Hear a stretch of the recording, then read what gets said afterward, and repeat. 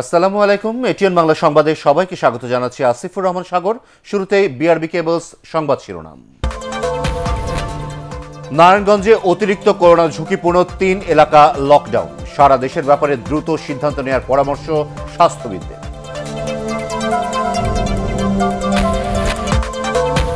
দেশে করোনায় একদিনে সর্বোচ্চ বিয়াল্লিশ জনের মৃত্যু, মৃতের সংখ্যা বেড়ে দাঁড়াল আটশো আটাশি। চব্বিশ ঘন্টায় শনাক্ত দুই হাজার সাতশো তেতাল্লিশ জন। হেলিকপ্টারে ঢাকায় এনে সিএমএইচে ভর্তি করা হলো করোনা আক্রান্ত মন্ত্রী বীর বাহাদুর ও সিলেটের সাবেক মেয়র কামরানকে।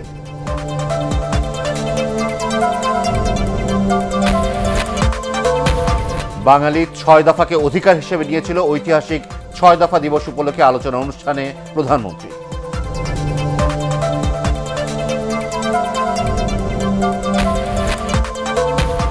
এবং মানব পাচারে জড়িত থাকার অভিযোগে কুয়েতে আটক লক্ষ্মীপুর দুই আসনের এমপি শহীদ ইসলাম পাপুল।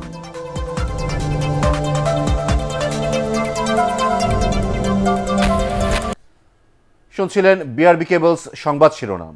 এবারে বিস্তারিত। নারায়ণগঞ্জের রূপায়ণ সিটি, আমলাপাড়া ও জামতলাকে করোনা সংক্রমণের অধিক ঝুঁকিপূর্ণ এলাকা হিসেবে চিহ্নিত করে লকডাউন ঘোষণা করা হয়েছে। রোববার সকালে নিজ কার্যালয়ে সংবাদ সম্মেলন করে জেলা প্রশাসক মোহাম্মদ জসিমউদ্দিন ওই তিনটি এলাকা লকডাউন ঘোষণা করেন। জেলা স্বাস্থ্য বিভাগের কর্মকর্তার উপস্থিতিতে জেলা প্রশাসক লকডাউন ঘোষণা করার পর তিনটি এলাকার সংশ্লিষ্ট থানা পুলিশ সেখানে গিয়ে লকডাউন কার্যকর করে।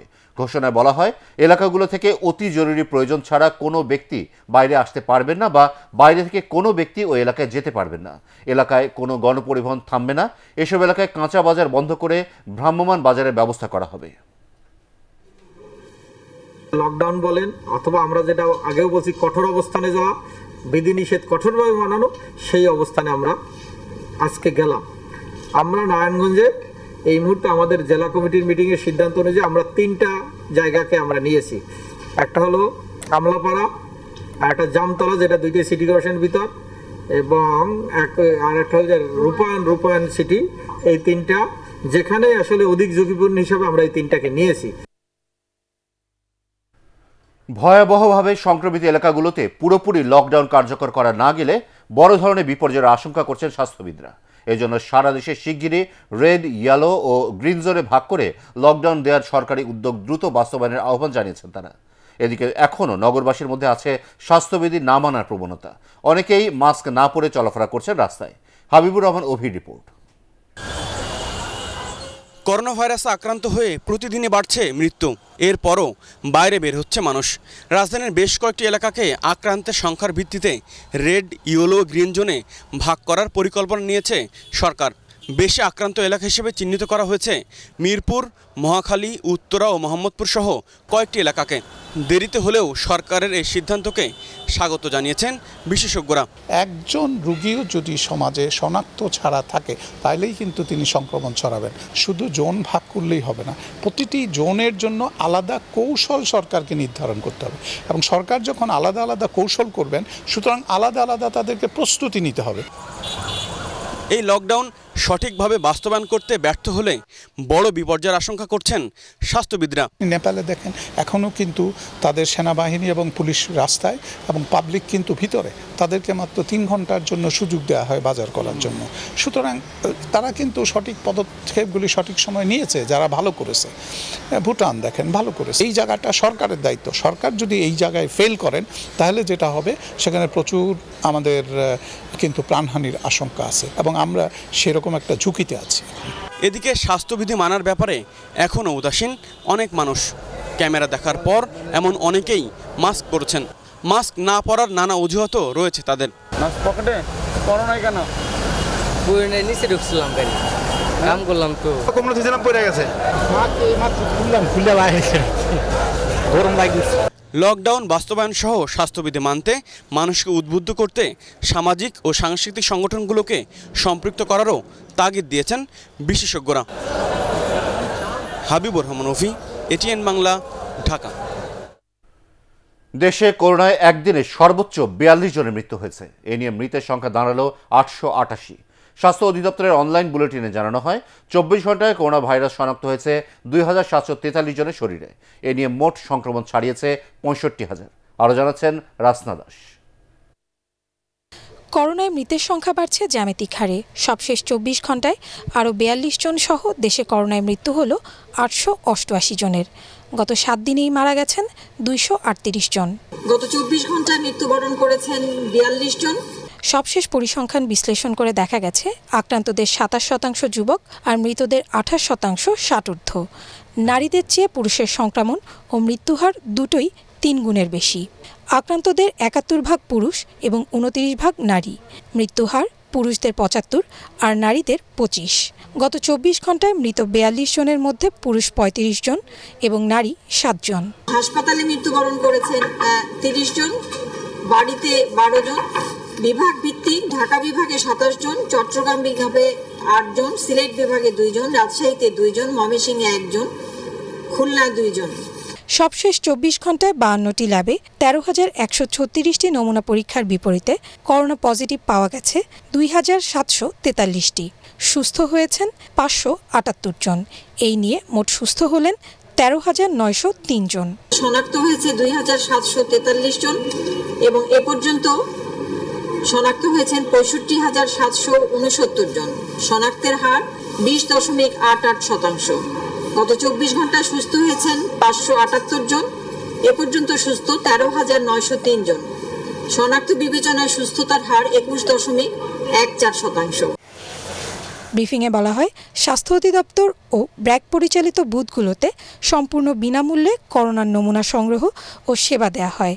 এই সেবা নিতে কাউকে কোনো আর্থিক লেনদেন না করার পরামর্শও দেয়া হয়। রাস্তা দাস, এটিএন বাংলা, ঢাকা। করোনায় আক্রান্ত পার্বত্য চট্টগ্রাম বিষয়ক মন্ত্রী বীর বাহাদুর উষই সিংকে উন্নত চিকিৎসার জন্য বান্দরবান থেকে সেনাবাহিনীর হেলিকপ্টারে ঢাকায় আনা হয়েছে। তাকে ঢাকার সম্মিলিত সামরিক হাসপাতাল সিএমএইচে ভর্তি করা হয়েছে। বান্দরবানের সিভিল সার্জন ঐংশই প্রু মার্মা জানিয়েছেন, মন্ত্রীর শারীরিক অবস্থা এখানে তেমন খারাপ নয়, সতর্কতার জন্যই তাকে ঢাকায় নেওয়া হয়েছে। এই প্রথম মন্ত্রী পরিষদের কোনো সদস্যের করোনায় আক্রান্ত হয়ে হাসপাতালে ভর্তি হলেন। বুধবার মন্ত্রী অসুস্থ বোধ করার পর তার শরীরের নমুনা করোনা পরীক্ষার জন্য ল্যাবে পাঠানো হয়। শনিবার তার করোনা পজিটিভ রিপোর্ট আসে। করোনা ভাইরাসে আক্রান্ত সিলেটের সাবেক মেয়র বদরুদ্দিন আহমেদ কামরানকে উন্নত চিকিৎসার জন্য বিমান বাহিনীর হেলিকপ্টারে ঢাকায় সিএমএইচ আনা হয়েছে বলে জানিয়েছে আইএসপিআর। সন্ধ্যা সাড়ে ছয়টায় সিলেট ওসমানী আন্তর্জাতিক বিমানবন্দর থেকে বিমান বাহিনীর একটি হেলিকপ্টারে তাকে ঢাকায় আনা হয়। শনিবার করোনায় আক্রান্ত হওয়ার পর মেয়র কামরানকে সিলেটের শহীদ শামসুদ্দিন হাসপাতালে ভর্তি করা হয়। রোববার সকালে তার অবস্থার অবনতি হলে চিকিৎসকদের পরামর্শে উন্নত চিকিৎসার জন্য তাকে ঢাকায় আনার সিদ্ধান্ত নেওয়া হয়।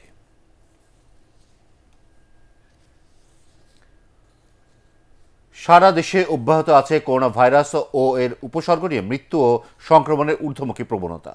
বিভিন্ন জেলায় মারা গেছেন অন্তত চোদ্দ জন। প্রতিনিধিদের পাঠানো ছবি ও তথ্যের ভিত্তিতে কামরুজ্জামান রাজীবের রিপোর্ট। বরিশালে লাফিয়ে লাফিয়ে বাড়ছে করোনা আক্রান্ত ও মৃত্যুর সংখ্যা। উপসর্গ নিয়ে বরিশাল শেরেবাংলা মেডিকেল কলেজ হাসপাতালে মারা গেছেন দুজন। এরা হলেন নগরীর পলাশপুর এলাকার চল্লিশ বছর বয়সী একজন ও পটুয়াখালীর কলাপাড়ার ত্রিশ বছর বয়সী একজন। নারায়ণগঞ্জে একদিনের ব্যবধানে আবারও বেড়েছে মৃত্যু এবং আক্রান্তের সংখ্যা। সোনারগাঁয়ে করোনা উপসর্গ নিয়ে দুইজনের মৃত্যু হয়েছে। জেলায় আক্রান্ত হয়েছে আরও একশো দুই জন। বান্দরবানে নতুন শনাক্ত নয়জন সহ মোট আক্রান্ত হয়েছেন ছেচল্লিশ জন। রাঙামাটিতে করোনার উপসর্গ নিয়ে একজনের মৃত্যু হয়েছে। কক্সবাজারে করোনায় আক্রান্ত হয়ে মারা গেছেন সিনিয়র সাংবাদিক আব্দুল মোনায়েম খান। তিনি ডেইলি স্টার সহ বিভিন্ন পত্রিকায় সাংবাদিকতা করেছেন। করোনায় আক্রান্ত হয়েছেন কুষ্টিয়ার জেলা প্রশাসক আসলাম হোসেন। লকডাউন করা হয়েছে তার কার্যালয় এবং বাসভবন। এছাড়া জেলায় নতুন শনাক্ত হয়েছেন সাতজন। সিলেট শহীদ শামসুদ্দিন হাসপাতালে করোনা আক্রান্ত দুজনের মৃত্যু হয়েছে। এ নিয়ে সিলেটে মৃতের সংখ্যা দাঁড়াল চৌত্রিশ। গত চব্বিশ ঘন্টায় জেলায় আক্রান্ত হয়েছেন ছেষট্টি জন। খুলনায় গত চব্বিশ ঘন্টায় করোনায় দুজন প্রাণ হারিয়েছেন। গাজী মেডিকেল কলেজ হাসপাতালে যশোরের পঁচাত্তর বছর বয়সী একজন এবং করোনা ডেডিকেটেড হাসপাতালে নড়াইলের ষাট বছর বয়সী একজন মারা গেছেন। নোয়াখালীতেও বাড়ছে আক্রান্ত ও মৃতের সংখ্যা। গত চব্বিশ ঘন্টায় জেলার বেগমগঞ্জ উপজেলায় আরও দুজনের মৃত্যু হয়েছে। নতুন করে আক্রান্ত হয়েছেন সাঁত্রিশ জন। জামালপুরের মেলান্দহে করোনা উপসর্গ নিয়ে সাবেক ইউপি সদস্যের মৃত্যু হয়েছে। জেলায় নতুন শনাক্ত হয়েছে আরও বারো জন। বগুড়ায় করোনা আক্রান্ত ষাট বছরের এক বৃদ্ধার মৃত্যু হয়েছে। নতুন আক্রান্ত হয়েছেন ষাট জন। চট্টগ্রামে নতুন একশো ছাপ্পান্ন জনের করোনা শনাক্ত হয়েছে। রংপুরে পুলিশ, নার্স সহ তেরো জন, টাঙ্গাইলে সতেরো, জয়পুরহাটে নয়, মানিকগঞ্জে সাত জনের করোনা শনাক্ত হয়েছে। কামরুজ্জামান রাজীব, এটিএন বাংলা। প্রধানমন্ত্রী শেখ হাসিনা বলেছেন বঙ্গবন্ধু দেওয়া ছয় দফা দাবি এমনভাবে বাঙালি লুফে নিয়েছিল যে পৃথিবীতে এর আর কোনো নজির দেখা যায়নি। সব বাঙালি এটাকে অধিকার হিসেবে নিয়েছিলেন। তিনি বলেন, ছয় দফা প্রচার করার জন্য পঁয়ত্রিশ দিনের মধ্যে তিনি বত্রিশটি জনসভা করেছিলেন। জনগণকে এই ছয় দফার সঙ্গে সম্পৃক্ত করতে পেরেছিলেন। ঐতিহাসিক ছয় দফা দিবস উপলক্ষে জাতির পিতা বঙ্গবন্ধু শেখ মুজিবুর রহমানের জন্মশতবার্ষিকী উদযাপন জাতীয় বাস্তবায়ন কমিটির পক্ষ থেকে আয়োজিত অনলাইন আলোচনা অনুষ্ঠানে এসব কথা বলেন তিনি। অনুষ্ঠানে সভাপতিত্ব করেন প্রধানমন্ত্রী শেখ হাসিনা। প্রধান আলোচক ছিলেন ডক্টর সৈয়দ মঞ্জুরুল ইসলাম। এছাড়াও আলোচনা করেন কৃষিমন্ত্রী ডক্টর মোহাম্মদ আব্দুর রাজ্জাক ও শিক্ষামন্ত্রী ডক্টর দীপুমণি অনুষ্ঠান পরিচালনা করেন জাতির পিতা বঙ্গবন্ধু শেখ মুজিবুর রহমানের জন্মশতবার্ষিকী উদযাপন জাতীয় বাস্তবায়ন কমিটির সদস্য সচিব ডক্টর কামাল আব্দুল নাসের চৌধুরী। অনুষ্ঠানের শুরুতে মুজিব বর্ষের থিম সংগীত পরিবেশন করা হয়, এরপর বঙ্গবন্ধুর উপর একটি প্রামাণ্যচিত্র প্রদর্শন করা হয়। ধন্যবাদ জানাই। আমাদের মহান নেতা, সর্বকালের সর্বশ্রেষ্ঠ বাঙালি জাতির পিতা বঙ্গবন্ধু শেখ মুজিবুর রহমান, বাঙালি জাতির অধিকার প্রতিষ্ঠার জন্য এই দাবি উত্থাপন করেছিলেন। ছয় দফা দাবিটা জনগণ এমনভাবে লুফে নিয়েছিল, আমি জানি না পৃথিবীর কোনো দেশে এত দ্রুত কোনো দাবি এত বেশি জনপ্রিয়তা পেতে পারে। কারণ বাংলার মানুষ এটা নিয়েছিল তাদের বাঁচার অধিকার হিসেবে। যে কর্মসূচি সফল করতে গিয়ে সেই সময় পাকিস্তানি শাসকদের হাতে যারা জীবন দিয়েছিল আমি তাদেরকে শ্রদ্ধার সাথে স্মরণ করছি। ঐতিহাসিক ছয় দফা দিবস উপলক্ষে সকালে ধানমন্ডির বত্রিশ নম্বরে প্রধানমন্ত্রী শেখ হাসিনা ও আওয়ামী লীগের পক্ষে শ্রদ্ধা নিবেদন করা হয়। শ্রদ্ধা নিবেদন শেষে আওয়ামী লীগের যুগ্ম সাধারণ সম্পাদক, তথ্যমন্ত্রী ডক্টর হাসান মাহমুদ বলেন, স্বাধীনতার জন্য জাতির মনন তৈরির লক্ষ্যে জাতির পিতা বঙ্গবন্ধু শেখ মুজিবুর রহমান ছয় দফা ঘোষণা করেছিলেন। নিয়াজ জামান সজীবের রিপোর্ট। পাকিস্তানি শাসন থেকে মুক্তির লক্ষ্যে স্বৈরাচার আইব খান সরকারের বিরুদ্ধে উনিশশো সালের পাঁচই ফেব্রুয়ারি লাহোরে ছয় দফা পেশ করেন বঙ্গবন্ধু শেখ মুজিবুর রহমান। তৎকালীন পূর্ব পশ্চিম পাকিস্তানের সব বিরোধী রাজনৈতিক দলগুলোকে নিয়ে ডাকা এক জাতীয় সম্মেলনে যুগান্তকারী এই দাবি তোলেন তিনি, যা বাংলার সর্বস্তরে স্বতঃস্ফূর্ত সমর্থনে পরিণত হয় শোষিত, বঞ্চিত মানুষের মুক্তির সনদে। একই বছর সাতই জুন ছয় দফা আদায়ে আওয়ামী লীগের ডাকে হরতাল পালনকালে নিরস্ত্র জনতার উপর গুলি চালায় পুলিশ ও ইপিআর। এতে ঢাকা, নারায়ণগঞ্জে শহীদ হন এগারো জন। তারপরে দাবানলের মতো ছড়িয়ে পড়ে ছয় দফার মুক্তি আন্দোলন। স্বাধীনতার মূল মন্ত্র, মূল দীক্ষা বাংলার মানুষ গ্রহণ করেছিল এবং এই ছয় দফার মাধ্যমে বাংলার মানুষ বুঝতে পেরেছিল তাদের মুক্তির একমাত্র পথ স্বাধীনতা এবং তাই তারা সেই স্বাধীনতার জন্যই বঙ্গবন্ধুকে নেতৃত্বে আস্থা নিয়ে এগিয়েছিলেন। এরপর বঙ্গবন্ধুর নেতৃত্বে আপসহীন সংগ্রামে উনসত্তরে গণ অভ্যুত্থানের দিকে এগিয়ে যায় পরাধীন বাঙালি জাতি। পরে যা পরিণত হয় স্বাধীনতা সংগ্রামে। এই ছয় দফার ভিত্তিতে উনিশশো উনসত্তর সালে এগারো দফা রচিত হয় এবং এই এগারো দফা আন্দোলনে সারা বাংলাদেশে গণ অভ্যুত্থান সংগঠিত হয়। শেখ মুজিব বঙ্গবন্ধুতে পরিণত হন। পাকিস্তানের মধ্যে বাঙালিদের অধিকার প্রতিষ্ঠা সম্ভবপর নয়। বাঙালিরা সবসময় নিষ্পেষিত হবে নির্যাতিত হবে। সেজন্য তিনি বহু আগেই স্বাধীনতার পরিকল্পনা করেছিলেন। উনিশশো ছেষট্টি সালে ছয় দফা ঘোষণা করেছিলেন জাতির মনন তৈরি করার লক্ষ্যে স্বাধীনতা অর্জনের লক্ষ্যে। দিবসটি উপলক্ষে ধানমন্ডির বত্রিশ নম্বরে বঙ্গবন্ধুর প্রতিকৃতিতে প্রধানমন্ত্রী শেখ হাসিনা ও আওয়ামী লীগের পক্ষে শ্রদ্ধা নিবেদন করা হয়। নিয়াজ জামান সজীব এটিএন বাংলা ঢাকা।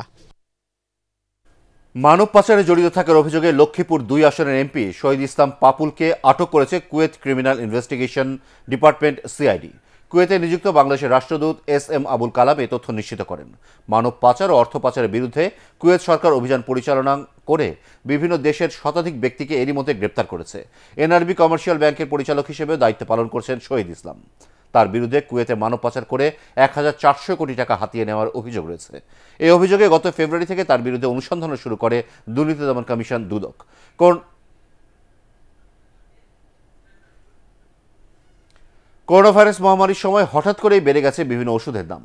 বিক্রেতারা বলছেন সরবরাহ কম থাকায় তাদের বেশি দামে কিনতে হচ্ছে বলে খুচরা বাজারে ওষুধের দাম বাড়ছে। আর ওষুধ প্রশাসন অধিদপ্তর বলছে মাত্র একশো সতেরোটি ওষুধের দাম নির্ধারণ করতে পারেন তারা বাকিগুলোর দাম নির্ধারণ করে উৎপাদনকারী company. Humayun Chisti report.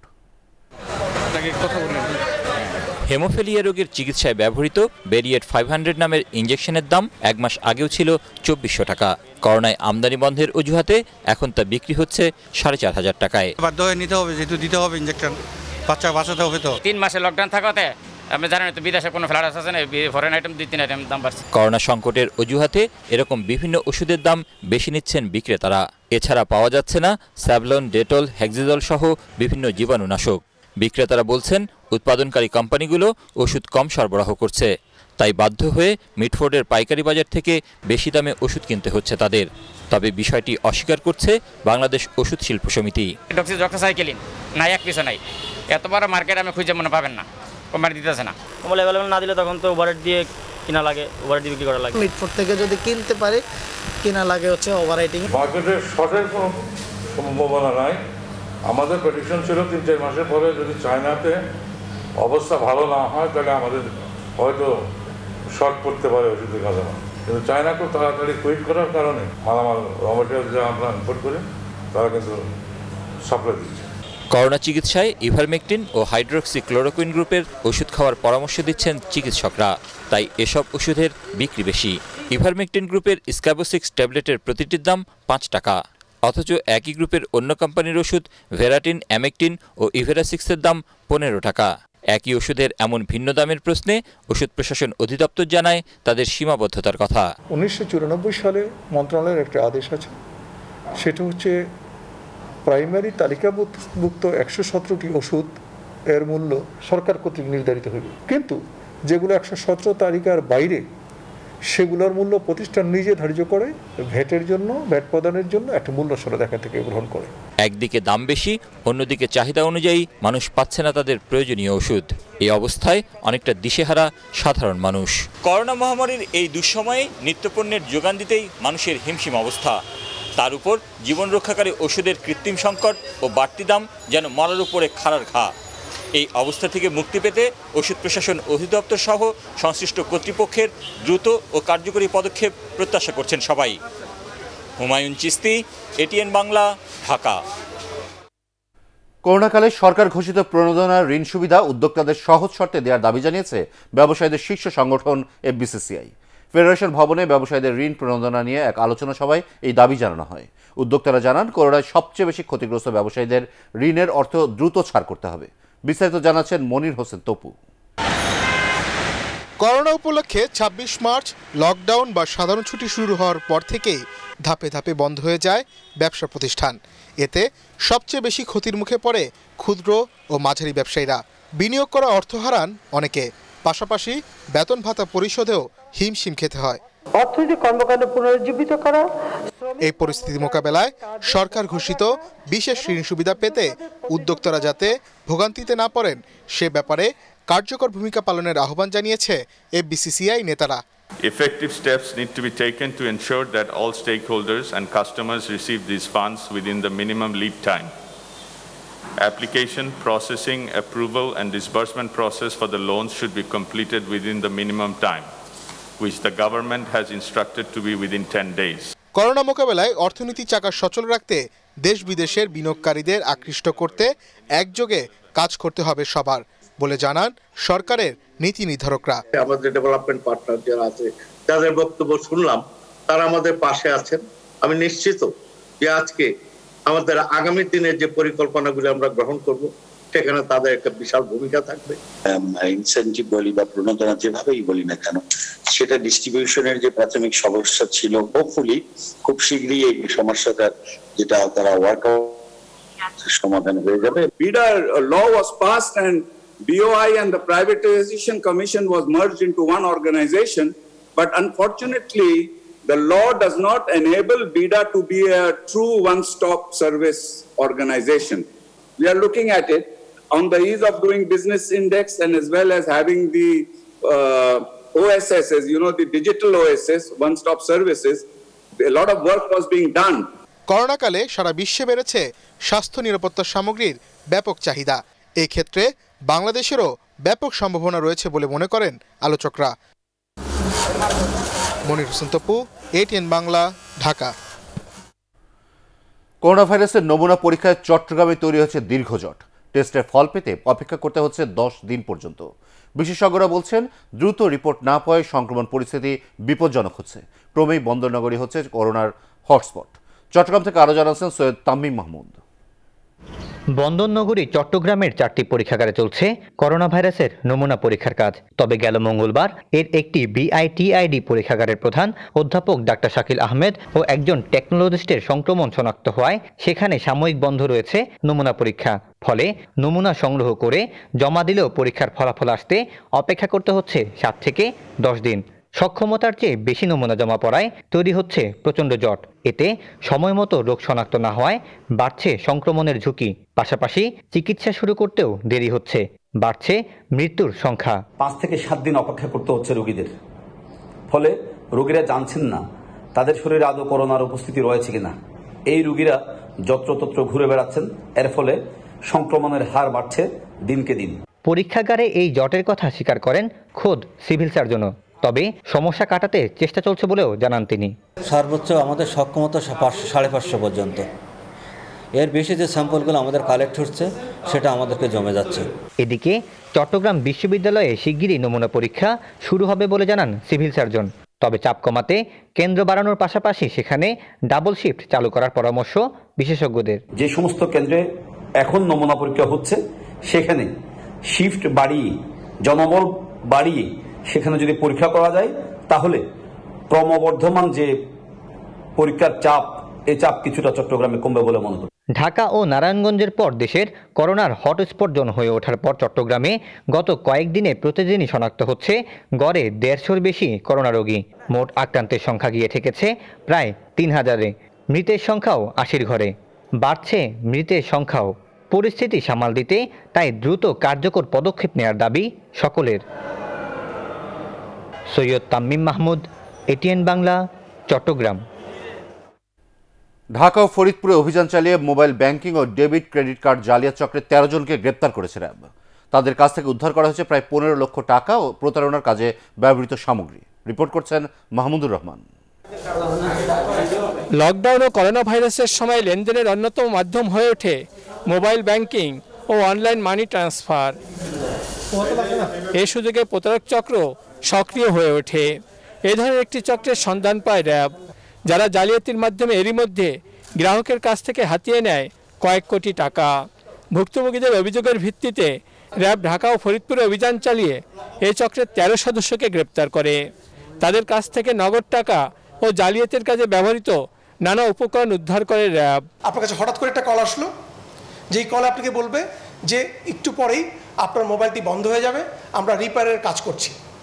স্বভাবতই আপনি ভয় পেয়ে যাবেন এবং তারা আপনাকে বলবে যে এই বিপদ থেকে আপনি রক্ষা পাওয়ার জন্য আপনি তাড়াতাড়ি আপনার কোড নাম্বারটি প্রদান করুন। বিপদ থেকে রক্ষা পেতে গিয়ে নিজেই তখন বিপদের মধ্যে পড়লেন আপনি যখন আপনার কোড নাম্বারটি প্রদান করলেন, তৎক্ষণাৎ আপনার সমস্ত টাকা তাদের টাকা হয়ে গেল। সংবাদ ব্রিফিংয়ে র্যাব আরও জানায়, একজন মাস্টার মাইন্ডের অধীনে পাঁচটি গ্রুপে ভাগ হয়ে এই চক্রটি প্রতারণা করে। এই চক্রের সদস্য সংখ্যা চল্লিশ জনের মতো। ভুলে টাকা চলে যাওয়া, লটারি জেতা, বৃত্তি পাওয়া অ্যাকাউন্ট বন্ধ হয়ে যাওয়া ইত্যাদি বিভিন্ন কৌশলে ভিকটিমদের কাছ থেকে টাকা হাতিয়ে নেয় এই চক্রটি। এরা মূলত ভুয়া কাস্টমার কেয়ার সেজে গ্রাহকের সাথে প্রতারণা করে থাকে। তারা জানায় যে আপনি লটারিতে অনেক টাকা জিতেছেন। সভাপতি আমাদের অনেক মানুষ অশিক্ষিত আছে, তারা খুব সহজ সরল মানুষ, তারা বুঝতে পারে না। তখন তাদেরকে এই লটারি জেতার পঁচিশ পার্সেন্ট টাকা তারা কেটে রাখে। এবং অনেক সময় বলে যে আপনার টিভি জিতেছেন অথবা একটা ফ্রিজ পেয়েছেন। এটার কুরিয়ার সার্ভিসে অর্থাৎ পরিবহনের যে টাকাটা আপনাকে প্রদান করতে হবে সেই পরিবহনের টাকা নেওয়ার মাধ্যমেও তারা প্রতারণা করে থাকে। ভাঙ্গা ফরিদপুরে ঢাকায় এ চক্রের এজেন্ট রয়েছে। গ্রাহকের অ্যাকাউন্ট ট্রান্সফার হওয়ার পর সিন্ডিকেটের মোবাইল ব্যাংকিং এজেন্টদের মাধ্যমে টাকা উত্তোলন করে থাকে এ চক্রটি। মাহমুদুর রহমান এটিএন বাংলা ঢাকা। এক হাজার একশো একাশি জনের মুক্তিযোদ্ধার ভুয়া সনদ বাতিল করেছে সরকার। তাদের গেজেট বাতিল করে প্রজ্ঞাপন জারি করেছে মুক্তিযুদ্ধ বিষয়ক মন্ত্রণালয়। জাতীয় মুক্তিযোদ্ধা কাউন্সিল আইনের সংশ্লিষ্ট ধারায় গত ডিসেম্বরে অনুষ্ঠিত মুক্তিযোদ্ধা কাউন্সিলের ছেষট্টিতম সভার সিদ্ধান্তের প্রেক্ষিতে রোববার গেজেট বাতিল করে প্রজ্ঞাপন জারি করা হয়। বাতিল হওয়া ব্যক্তিরা মুক্তিযুদ্ধের পর বিমান বাহিনী ও বিজিবিতে যোগ দেওয়ার সময় গেজেটভুক্ত হয়েছিলেন। কিন্তু মন্ত্রণালয়ের কাছে তাদের গেজেটভুক্তির কোনো কাগজপত্র ছিল না। ঢাকাবাসীকে চব্বিশ ঘণ্টা সেবা দেওয়া হবে বলে জানিয়েছেন ঢাকা দক্ষিণ সিটি কর্পোরেশনের mayor barrister Sheikh Fazle Noor Taposh. City কর্পোরেশনের কর্মকর্তা কর্মচারীরা কাজে অবহেলা করলে তাদের তাৎক্ষণিক চাকরি থেকে বহিষ্কার করা হবে বলেও জানান তিনি। পুরানো ঢাকার আরমানিটোলার শামসাবাদ মাঠে বছরব্যাপী সমন্বিত মশক নিধন ব্যবস্থাপনা কার্যক্রমের উদ্বোধনী অনুষ্ঠানে তিনি এসব কথা বলেন। ঢাকাবাসীকে একটি মশামুক্ত শহর উপহার দেওয়ার প্রত্যয় ব্যক্ত করে মেয়র আরও বলেন, মশক নিধনের এই কার্যক্রম উদাহরণ হয়ে থাকবে। সকাল নয়টা থেকে দুপুর একটা পর্যন্ত চার ঘণ্টা লার্ভিসাইডিং করা হবে। আগে গতানুগতিকভাবে শুধু মাগরিবের সন্ধ্যার সময় এক ঘণ্টার মতো ফগার মেশিনে ধোয়া দিয়ে অ্যাডাল্টিসাইডিং মশক নিধন করা হতো। এখন থেকে দুপুর আড়াইটা থেকে সন্ধ্যা মাগরিব পর্যন্ত সাড়ে ছয়টা, চার ঘণ্টা পুরো ওয়ার্ড ব্যাপী এই ফগার মেশিনে, এই অ্যাডাল্টিসাইডিং এই মশক নিধনের কার্যক্রম চলবে। Gazipur Shaheed Tajuddin Ahmad medical college Covid nineteen dedicated হাসপাতালে করোনা ভাইরাসের নমুনা পরীক্ষার পিসিআর ল্যাব উদ্বোধন করা হয়েছে। এই ল্যাবে বিনামূল্যে নমুনা পরীক্ষা করে চব্বিশ ঘণ্টার মধ্যে রিপোর্ট দেওয়া হবে। মুক্তিযুদ্ধ বিষয়ক মন্ত্রী আ কম মোজাম্মেল হক, যুব ক্রীড়া প্রতিমন্ত্রী মোহাম্মদ জাহিদ আহসান রাসেল এবং গাজীপুর সিটি কর্পোরেশনের মেয়র অ্যাডভোকেট জাহাঙ্গীর আলম এর উদ্বোধন করেন। তাজউদ্দিন মেডিকেল কলেজ এখন আজকে থেকে একটি ল্যাব চালু হতে যাচ্ছে এবং বেগম ফজিলাতুন্নেসা মুজিব হসপিটালও চালু হয়েছে এবং বিজিএমও তারা বলেছে তারা চালু করবে, কিন্তু এখনও সেটা হয়নি। আমরা চাই আমাদের প্রয়োজন অন্তত এই গাজীপুরের চারটি বা পাঁচটি ল্যাব দিয়ে এটা খুব দ্রুত যেন চব্বিশ ঘণ্টার ভিতরে যেন মানুষ রেজাল্টটা পায়। করোনা মহামারীকে পুঁজি করে স্বাস্থ্য খাতে চিকিৎসা সরঞ্জাম কেনাকাটায় নতুন করে দুর্নীতির উৎসব শুরু হয়েছে বলে অভিযোগ করেছেন বিএনপির সিনিয়র যুগ্ম মহাসচিব রুহুল কবির রিজভি।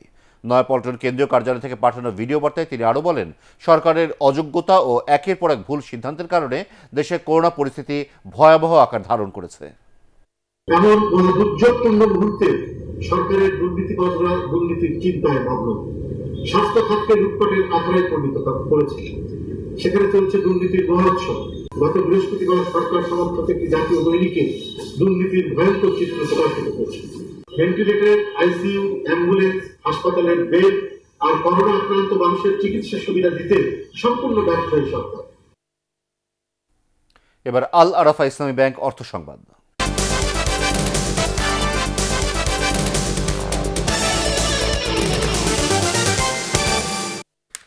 করোনা দুর্যোগকালীন ঝুঁকি মাথায় রেখে বাস্তবায়নযোগ্য বাজেট দেওয়ার আহ্বান জানিয়েছে Centre for Policy Dialogue CPD. CPD আয়োজিত জাতীয় অর্থনীতির পর্যালোচনা ও আসন্ন বাজেট চ্যালেঞ্জ শীর্ষক এক ভার্চুয়াল মিডিয়া ব্রিফিংয়ে এ আহ্বান জানানো হয়। আগামী অর্থ বছরে প্রবৃদ্ধির হার আড়াই শতাংশের বেশি হবে না বলেও মনে করে গবেষণা সংস্থাটি। বর্তমান পরিস্থিতি বিবেচনা করে সিপিডি জানায়, করোনায় পাঁচটি খাত সরাসরি অসুবিধায় পড়েছে। এর মধ্যে ম্যানুফ্যাকচারিং ও কনস্ট্রাকশন খাত প্রত্যক্ষভাবে এবং দীর্ঘদিন বন্ধ থাকায় হোটেল, রেস্টুরেন্ট ও পরিবহন খাত পরোক্ষভাবে ক্ষতিগ্রস্ত হয়েছে। জিডিপিতে যার নেতিবাচক প্রভাব পড়বে। বাজেট এমন একটা সময় হচ্ছে যখন আমাদের এটা বাড়ছে।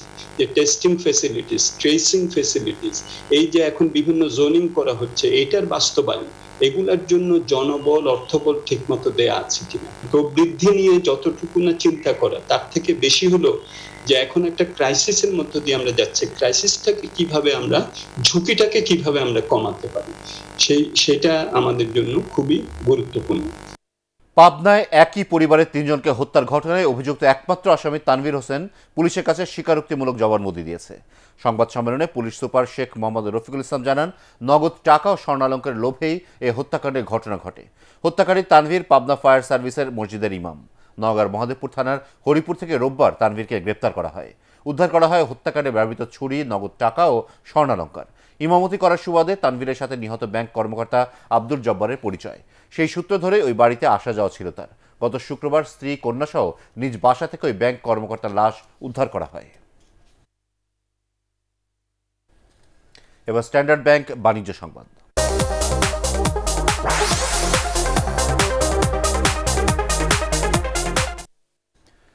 ভারতের সীমান্তে বিএসএফ এর দশ সদস্য আক্রান্ত হওয়ার পর বন্ধ হয়ে গেছে ব্রাহ্মণবাড়িয়ার আখাউড়া স্থলবন্দরের আমদানি রপ্তানি কার্যক্রম। স্থানীয় ব্যবসায়ীরা বলছেন, ভারতীয়রা পণ্য নিতে রাজি না হয় সকাল থেকে কোনো পণ্য আনা নেওয়া করা যাচ্ছে না। এ কারণে আখাউড়া স্থলবন্দরে আটকা পড়েছে পণ্যবাহী ছয়টি ট্রাক। আখাউড়া সিআরএফ এজেন্ট অ্যাসোসিয়েশনের সাধারণ সম্পাদক ফোরকান আহমেদ খলিফা জানান, প্রাথমিকভাবে দুই দিন বন্ধ থাকার, বন্ধ থাকবে বলে ভারত থেকে জানানো হয়েছে। এর মধ্যে করোনা রোগীর সংখ্যা বাড়লে বারোই জুন পর্যন্ত লকডাউন ঘোষণা করবে তারা। এবার পার্ট এক্স খেলার খবর।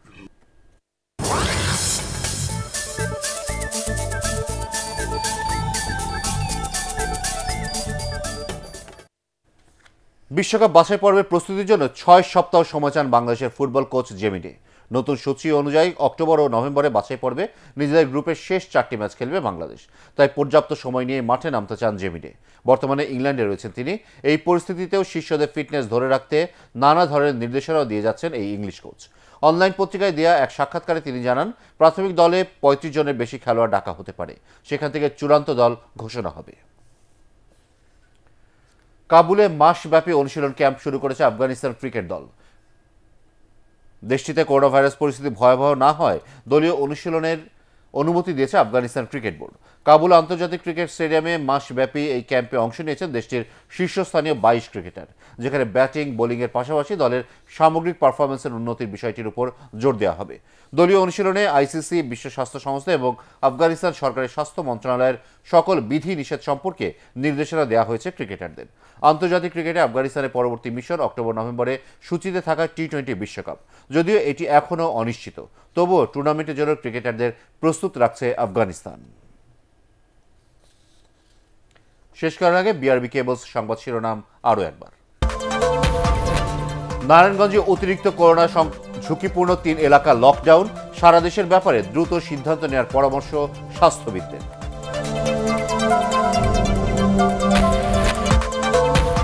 দেশে করোনায় একদিনে সর্বোচ্চ বিয়াল্লিশ জনের মৃত্যু। মৃতের সংখ্যা বেড়ে দাঁড়াল আটশো আটাশি। চব্বিশ ঘন্টায় শনাক্ত দুই হাজার সাতশো তেতাল্লিশ জন।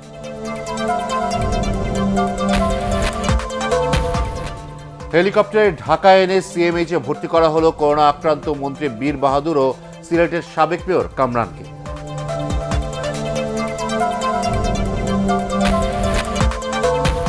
বাঙালির ছয় দফাকে অধিকার হিসেবে নিয়েছিল ঐতিহাসিক ছয় দফা দিবস উপলক্ষে আলোচনা অনুষ্ঠানে প্রধানমন্ত্রী।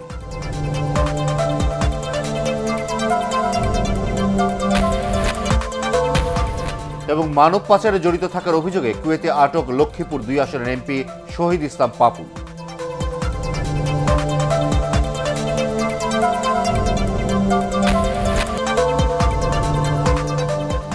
পরবর্তী সংবাদ দেখার আমন্ত্রণ জানিয়ে এখনকার মতো শেষ করছি। সবাই ঘরে থাকুন, নিরাপদে থাকুন। এটিএন বাংলা সংবাদ ইউটিউবে দেখতে ব্রাউজ করুন YouTube slash ATN Bangla news